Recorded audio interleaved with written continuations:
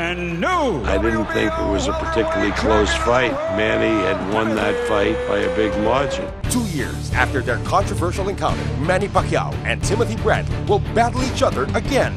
This time for a prize only a decisive victory can provide. He is going to have to fight fire with fire with Bradley. Expect the two warriors to go all out as they fight for vindication. Pacquiao Bradley 2, April 13 at 9 a.m. on Solar Sports.